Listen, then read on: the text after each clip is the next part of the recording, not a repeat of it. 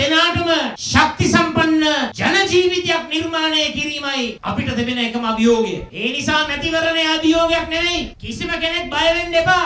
ජාති ආගම කුලය පන්තිය ගෝත්‍රය තරාතිරම පක්ෂය පැත්තක තබලා ඒ සියලු ભેද බින්නවීම් අතහැර දමලා අපේ මාතෘ භූමිය ලෝකයේ බැබලෙනම සංවර්ධනයේ වැඩිම ක්‍රියාත්මක වෙන සෞභාග්‍යයේ ඉහළම මට්ටමට යන අපේ මාතෘ භූමිය සුරකින්නට හැමෝම ලෑස්ති වෙන්න